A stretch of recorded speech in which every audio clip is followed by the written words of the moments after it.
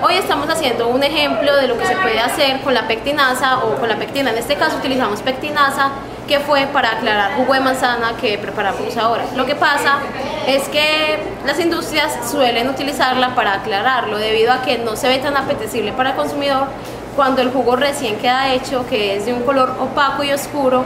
Entonces lo que se hace es agregarle la pectinasa en este caso para que aclare.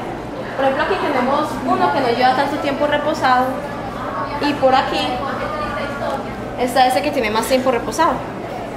Eh, lo que se ve arriba es la pectinasa, abajo se ven los sólidos que quedaron y en el medio es el jugo en sí, ya Oh. aclarado.